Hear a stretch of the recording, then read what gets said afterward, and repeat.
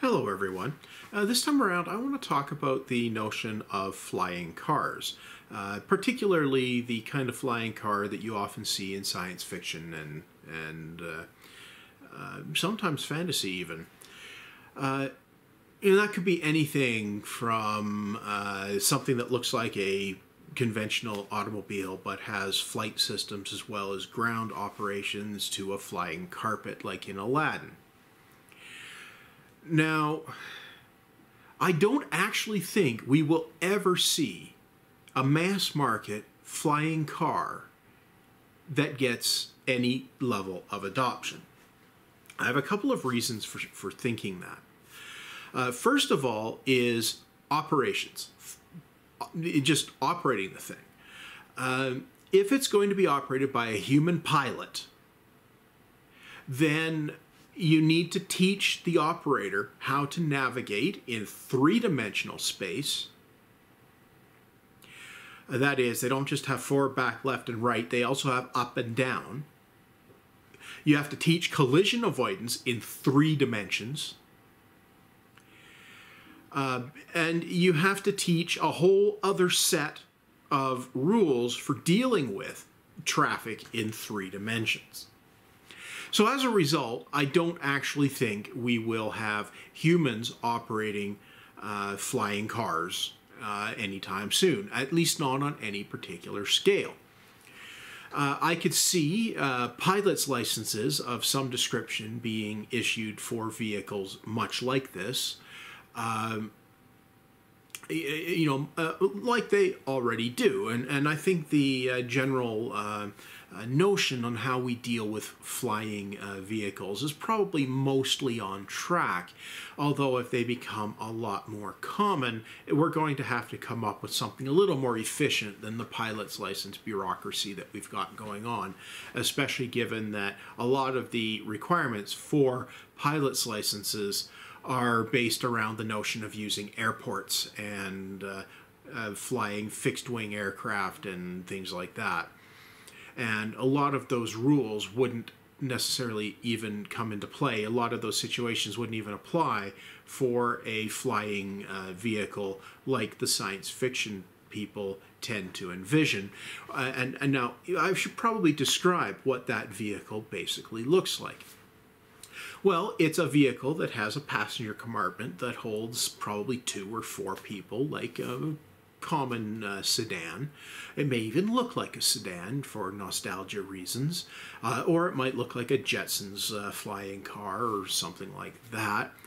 Uh, and it can take off vertically and land vertically, and it can move in any direction from a hover, and it can hover. Now, in that situation, you don't need all of the business and dealing with air traffic control, flight plans, filing flight plans, uh, things like that. Uh, you don't need a lot of it. And you need less uh, concern for, uh, say, a medical situation uh, than you would for, a, say, a commercial pilot. But you still have to be concerned about it. Now, operationally speaking, uh, humans are relatively good at operating in two dimensions. I say relatively good because we generally suck at navigation. Um, navigation and collision avoidance uh, at any kind of speed, uh, which is why you often see single vehicle uh, crashes on highways and so on. We also get bored and our attention wanders and so on. Now that's less of a problem in two dimensions where stuff could be coming from behind you, in front of you, or from the sides, but it's not likely to be coming from above or below. Just like uh, oftentimes you can hide from people coming into a room just by being above them, because uh, people never look up. Uh, people don't tend to look up when they're moving around because we have evolved to move around on the ground or close to it. So we're not likely uh, having to deal with things coming from every which way. Now, you might think that uh, our ancient ancestors swung around in trees and so on, but I think you'll find if you really study the uh, history, you'll find that that isn't really so much the case. Sure, we our ancient ancestors may have swung around in branches and so on, uh, much like uh, some of us do today for fun, but we likely uh, weren't doing a lot of vertical separation. Uh, we wouldn't be going too far off the ground for safety reasons, right? Uh, the people going too far above the ground and falling would kill themselves and likely before they reproduce. So that wouldn't be a winning strategy. And certainly socially, uh, that would have evolved out socially as well. So uh, you know we're we're not really evolved for dealing with uh, uh, stuff whizzing around in with total freedom in three dimensions. And as a result, we're not particularly good at tracking what's going on in three dimensions. So I don't think that uh, humans will ever be particularly good in the general case at operating, say, a uh, flying car without actually having uh, uh problems, uh, unless there are significant restrictions in the operations of those those cars, such that they have to stay within designated air corridors, and, and instead of having two-dimensional lanes, we basically got three-dimensional lanes, and we could probably deal with that, but again, probably not easily. And the question then becomes, what's the benefit of doing that? And you might think it re would reduce congestion, but really, would it? Because the people are probably still going to the same destinations. They're still going to have to park when they get there. So there's still going to have to be the, the everything's all going to bottleneck to the same place anyway. So it's not likely that you're going to improve congestion because the it's bottlenecks and and that cause a lot of the congestion. It's too much traffic going to one place or through one place. And just because that place happens to be three-dimensional and you can add 18 you can have 18 lanes by stacking 6 lanes 3 deep, it doesn't mean the traffic's going to move any better, uh, right? So uh, is it going to help with congestion? I don't actually think so. Uh, I don't think it'll make it worse. It might help in a few sp specific situations, but I don't think it'll help in the general case. And that's even leaving aside the fact that people will generally suck at operating these things. So un unless they have, we have good, solid autopilot, uh, I don't think these things will really be able to take off for the general population. And there's a whole other raft of issues with general consumption autopilots, whether that's for air vehicles, ground vehicles, or hybrid vehicles. Uh, that's a topic for another time. It's not an easy one. Now, uh, leaving aside the argument that humans suck at uh, flying things in general, um, and leaving aside the regulatory nightmare of doing this, and uh, leaving aside whether autopilot is viable or not, because, ultimately it will be. Uh, the there's another issue behind that I think is the bigger showstopper that's going to completely stop this dead in its tracks. And that is the energy cost of flying. Now, if you're just talking about get up ahead of speed and use wings to generate lift and keep and you know that's not as bad from an efficiency standpoint and energy usage standpoint as uh, as the uh, as a, uh, what what I'm going at here. But the, the only way that works is an efficiency of scale where you're transporting a lot of people in one capsule and it has to be moving at speed and it needs a fair bit of infrastructure and powerful fuel to make it work. For a personal flying car, you can't be relying on airports and that sort of thing. That totally eliminates the, the benefit of it. Uh, you're basically down to a private jet or a private chopper, and th there's really no need to uh, uh, to change how we handle that sort of thing. Even if these specific vehicles change, how we handle them now is basically basically the right way to handle it. uh, because they're they're still going to have to take off and land in appropriate designated areas, and you have to have a pilot's license and all of that jazz. File flight plans as required, everything like that. Okay, so uh, so basically, we definitely have to have uh, personal flying cars that work like science fiction shows us, where an ordinary person get in, hover up, and take off. So if if we're doing that, we need some sort of technology that gives us that vertical takeoff and landing and the hover.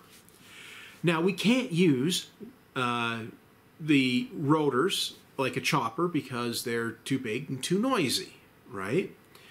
Uh, and I don't think we'll be able to use the same technology that's used in drones either because that's still rotors and it's still going to be noisy at a high power output.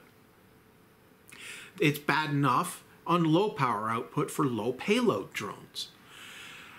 Uh, okay, so you've got we've got a problem there. Like we can get vehicles that go up and down and hover, that and can move in any direction.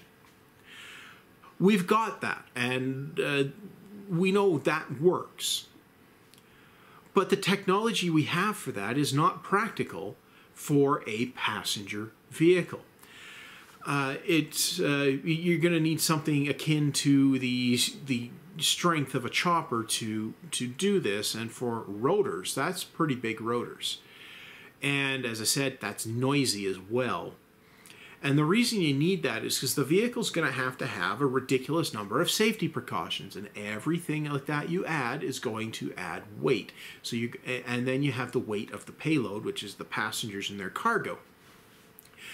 Uh, and then on top of that, uh, you've got the weight of the avionics itself, and then there's a good chance you're going to need a full ground transport system as well, which means a drivetrain, wheels, brakes, and you, you know, all of that.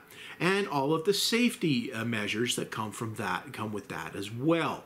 So that means that you've got two complete drive systems in there. And you've added weight, you've added complexity, and now you've got to be able to uh, transition and you add even more complexity. It, gets and and you have a lot of weight as well. Uh, so that means you need even more lift to get off the ground which means even more noise with rotors. Now you might think okay well why don't we use uh, aimable jets or something like that? And again noise. And also there's going to be that downwash from either method that's dangerous to those underneath it, uh, especially close to the engines or the rotors.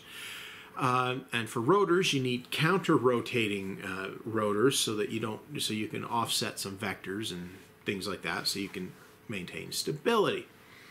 And this is all leaving aside how do you deal with uh, engine failure. Uh, you need, you know, the, that sort of thing. Uh, there's there's a whole lot of things that need to be considered. Uh, so what we really need to make this practical is some sort of anti-gravity hover system that is relatively quiet, uh, is relatively safe for anything that's under it, and can lift a heavy payload.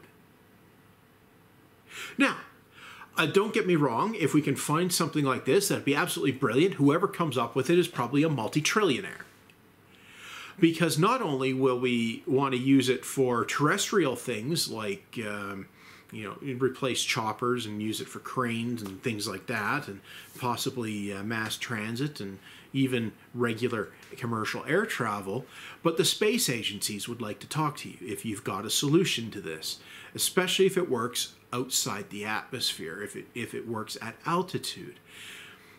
Um, so if you can come up with one of these uh, one of these Stark Tech um, uh, widgets, uh, thruster thingies. Well, okay, great. Then you've probably nailed the biggest technical problem that, that a flying car has, as long as it can operate on a low enough scale. And as long as the power plant required isn't too ridiculous, uh, you know, and that's the other side of things. Uh, when you're operating on the ground, the ground is providing the lift to keep you from sinking into the ground. The actual structure of the ground provides the force keeping you up. But if you get above the ground, the air doesn't provide that much of a force there at all. It does provide just a tiny bit, but it's negligible. Once you get above the ground, you have to have a force equal to the force of gravity to keep you in the air. Now, that force is going to be constant no matter what, what level you're at, assuming constant gravity, which it isn't quite, but eh, we'll fudge that. But you're going to need a force equal to uh, the gravitational pull to offset that.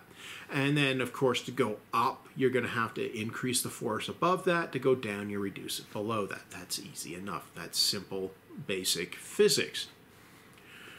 But you're going to have to be exerting that force continually to stay above the ground. And if you're going to be high enough up to avoid ground effect, then uh, you're going to have to provide that entire force yourself from your propulsion system. And the amount of force that you need to provide is uh, going to be simply gravity product of gravity and the mass of your vehicle, including its payload, uh, which includes the passengers. So the heavier the vehicle, the larger the force these thrusters, for lack of a better term, would have to provide. And that energy has to come from somewhere.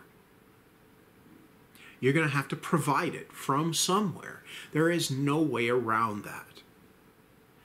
So this is where I think it fails. The energy required to keep such a vehicle in the air is simply not going to be worth it for the benefits that you may or may not get.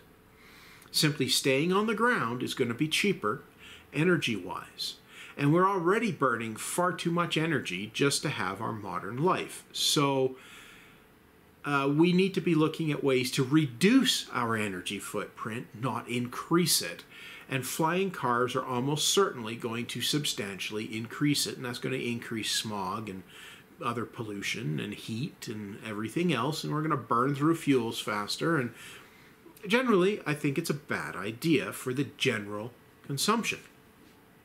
Now, that doesn't mean there aren't applications where such a technology would be a boon, and and in those cases, it would be it would make sense. And uh, and quite frankly, uh, if we can crack it and get a, a good way to do this that doesn't involve massive rockets or jet engines or something, and is stable and can hover nicely, then great.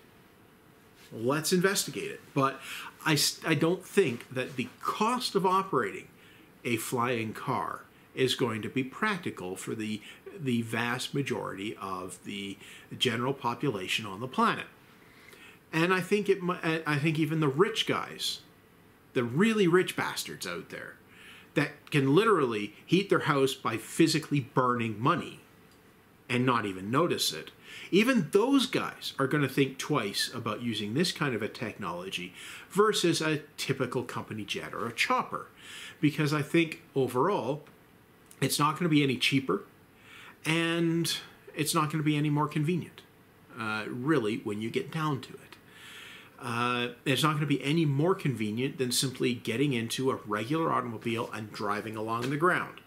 Uh, it's you, you know you might think that you could save by not having to maintain infrastructure for long haul travel and things like that, but uh, really we don't spend that much on long haul infrastructure. Most of our infrastructure costs are in the dense areas where flying vehicles would be of dubious utility, simply because of traffic density, which is already bad enough. And if you add a third dimension to it, you you just have that much more trouble from traffic congestion. So, especially since it's gonna, you're still gonna bottleneck to the same relatively small number of destinations. Uh, and as long as the traffic's going to a relatively small number of destinations, you're not going to help congestion in urban areas. So this is why I don't think, the biggest reason I don't think we'll ever have flying cars, and it's simply because they're not practical. Uh, they're not practical from an energy budget standpoint, and as it stands right now, they're not practical from a technological standpoint.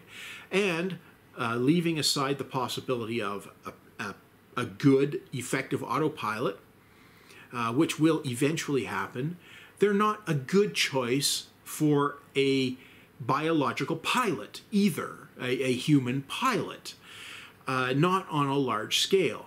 Most of us have enough trouble operating a motor vehicle in two dimensions on the ground.